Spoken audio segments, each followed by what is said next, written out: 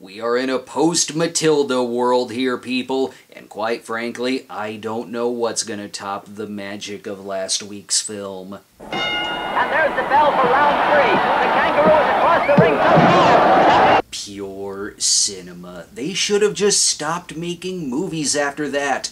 But in case of an emergency, it's always best to call in a professional like the Thunder Warrior. Yes, thank you, Thunder. This is the perfect opportunity to finish out the Thunder Warrior trilogy. Don't remember what happened in the previous Thunder Warrior movies? Don't worry, it never matters. They just make up shit as they go along anyway. The first one was about a Native American named Thunder who was angry the construction workers and the law were tearing up his family's land, so he fought back Rambo style and destroyed the town with a bulldozer. All was well in the sequel, however, when he joined the same police force that tried to kill him, and then they tried to kill him again. But while we had bad Sheriff Bo Svensson in the first, we got good Sheriff Bo Svensson in the second, till it ended with him shooting at Thunder out of nowhere. We don't have Bo in this one,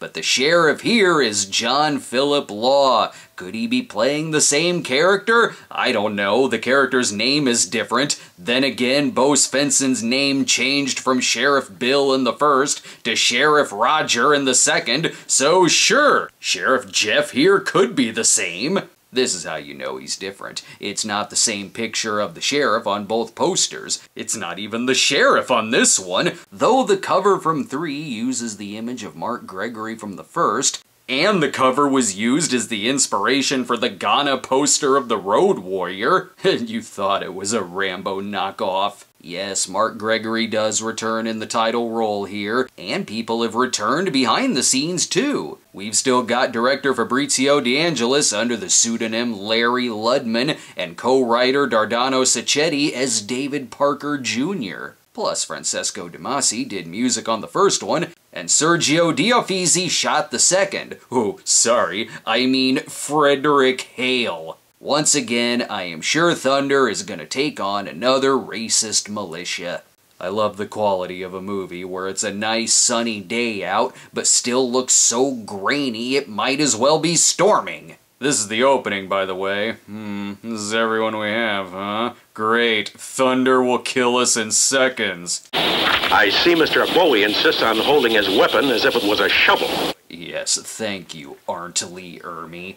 I'm guessing these are the villains? You all know how I see things. That's why those yellow asses at the Pentagon relieved me of my command. I don't know what's happening, but why hasn't this helicopter blown up yet? Sir, we can't hear you. You mind turning off the helicopter? It's slowing down in one shot, but still going fast in the other. Of course, this guy's name is Colonel Magnum, appropriately played by Werner Pochath. He was in a movie called Magnum Cop and a ton of other movies that sound like they'd be a great double feature with Thunder Warrior 3, like Striker, Born to Fight, Cop Game, A Man Called Rage. And more than one of those were directed by Bruno Mattei. You know there's gonna be law breaking when we got John Philip Law in the cast. Even the crew has names ready for action, like Johnny Major. Unfortunately, if C.W. McCall ain't singing about it, then I'm not taking this convoy seriously.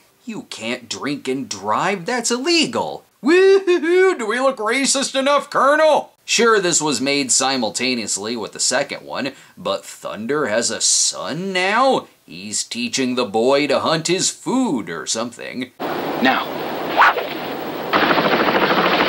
Damn, no son of mine misses the helicopter. And we ain't gonna get any work done if you keep stopping to eat barbecue every five minutes. They look like they showed up years too late for the zombie hunters scene from Dawn of the Dead. Woo, come on boys, next stop chicken fried steak territory. Thunder senses the usual danger. Oh, it's getting awfully racist around here. At this point, Thunder just has to be annoyed. Great. Another day of people randomly showing up and shooting at us. Do I even want to know the context? After they kill the horses, Thunder will attack, and they have the reaction you think they would. What the hell? Yes, this definitely calls for a what the hell? That's one step closer to what in tarnation? I suppose they've finished their plan. Just drive around and act like idiots, and if you see a child, shoot at him. Thunder is knocked out. He won't know it's us. Get that varmint. He has a much nicer trailer than we do. You come out, or I'll get pissed off! You won't like him when he's pissed off. He'll put holes in your trailer and spill your beer everywhere. Let me guess, even though they're killing Thunder's people, if there was a fourth Thunder Warrior movie, it'd be about Thunder joining them and then being surprised when they turn on him. Unfortunately, we're still in the first act. Thunder can't kill them yet. He has to get his ass handed to him first, and then he can get his revenge. Honestly, though, in this universe, he should have known not to make everything around him so explosive. We got him now, boys, and I know our beer cans are empty, but if we drink the air, we can still get a little drunk. They tell him to stay on his reservation. What? That's where he was. Then you blew it up. This racist militia doesn't make any sense. And when we come back, more shots of birds. Mind joining me outside? Definitely a Sharknado. People are gonna die. Let's go watch a movie. We kind of want to see a shark now, literally through the window. Everyone knows sharks don't like Vegemite. It's pretty damn impressive and fun to watch. This film took the world by storm. Won't you join us? If you're wondering where his wife is, she's still here. Though this character has been played by different actresses in all movies, is this another case where it could be the same character? Ugh, help me out, oh, whatever your name is. Point me to the nearest bulldozer. But if you can't get Bo Svensson back, casting John Philip Law in the sheriff role does make all the sense in the world. So what you maintain is that a group of friends of mine spontaneously attacked your village for no reason whatsoever. Um, yes, have you not been paying attention to this trilogy? And just because he's going to Sheriff Jeff for help doesn't mean this isn't the same character who took a shot at him at the end of the second. The sheriff tells him he needs to bring more evidence that the militia attacked him. Great, the rest of the movie will be Thunder collecting beer cans. He at least wants them to pay for the damages. The amount is $56,000. That's a very specific number. You already had this amount in your head, didn't you? The sheriff finds them fast. Of course they're at the bar, and they ain't happy. Now wait a minute. Bob Keller's an honest man. He pays his taxes. It's the banjo music in the background that lets you know they're serious. Go figure, they don't want to pay the $56,000. Christ, Jeff, whose side do you want? The law. It is my name. He can't help Thunder, though, who sneaks up on him with his power of cinematography. Thunder lets him know he'll get all the revenge himself. He just has to follow the music.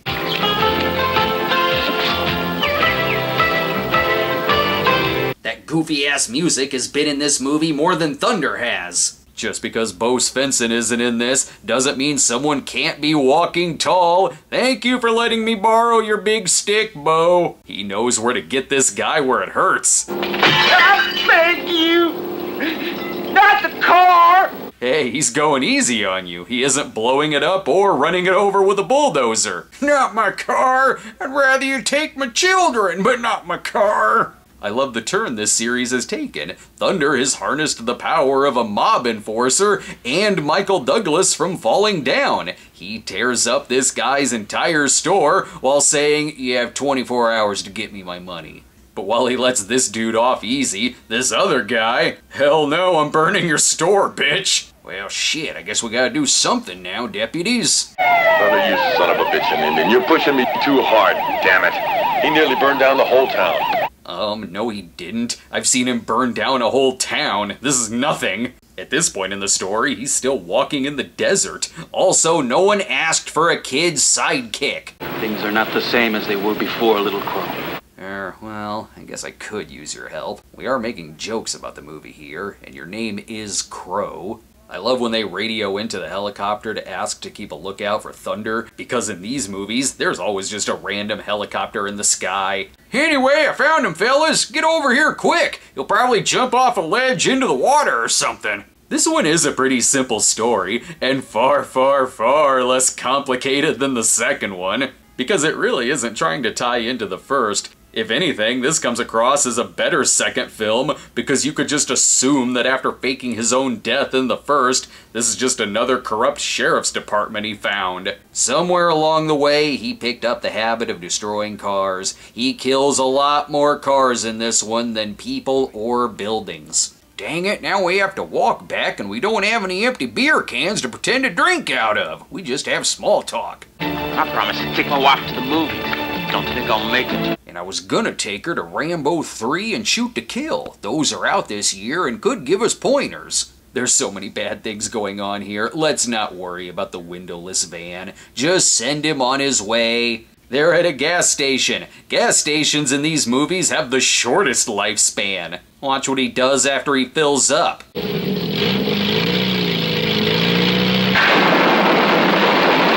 Was that really necessary? Dang it, Sheriff, we're lost. You know we ain't much for walking. Still another 18 miles. Take your breath back. We lost half our men at mile two. 18 miles is gonna kill all of us. While Matilda had the McDonald's commercials, this one wants to put you in a brand new car. Original chrome, air conditioned, leather upholstery. Yeah, but I'm looking for a car. A car? A fast car. You want it to explode, don't you? Oh, shit! You're not kidding! Complete the warhead and all! Yeah, that's what I'm looking for. I'll take three. I honestly forget if these people have anything to do with the militia, or if Thunder is so used to destroying towns, he just goes after anything, plus sending notes to people. Huh? Could you not mow so early in the morning? It's my day off? I love the way this is shot too. Like they actually blew up a car lot and stood across the street to secretly film the firemen taking care of it. I'm also wondering if when this cop took off down the road, if he did almost hit that guy. This here's a war zone. It was hell. It was a living hell.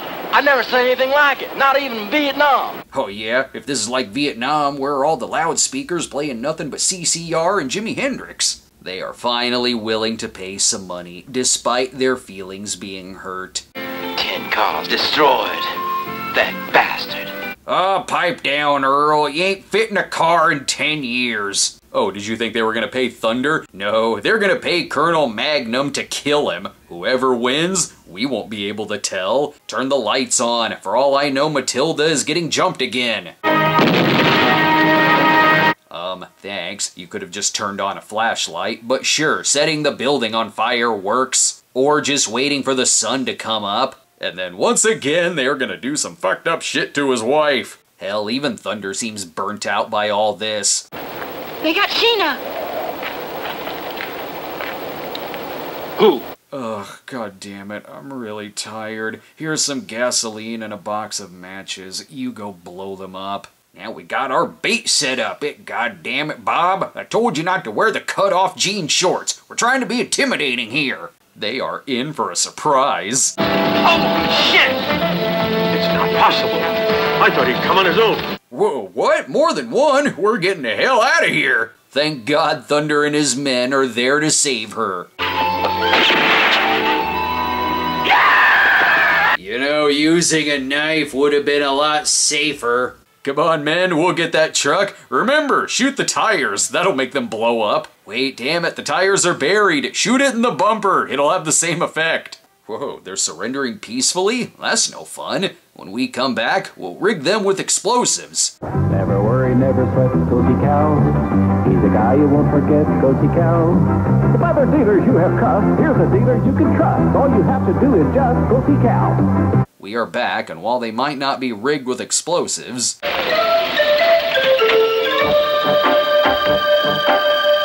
he strapped a silly, out of place kids' movie soundtrack on them.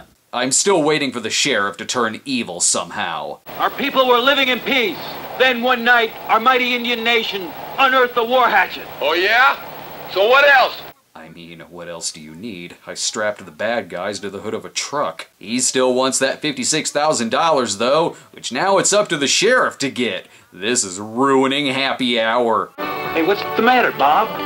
You look terrible. So would you if you knew what the sheriff just told me. He said no more pace picante salsa for the chips on account of the new deputy being from New York City. Bad timing. It's high time for their afternoon snack. Pass the ketchup. We need our bellies full of meat when we go people hunting. This is moving fast. In the next cut, they're all surrounding his shack, which they knew he was in. Thunder better get the hell out of there.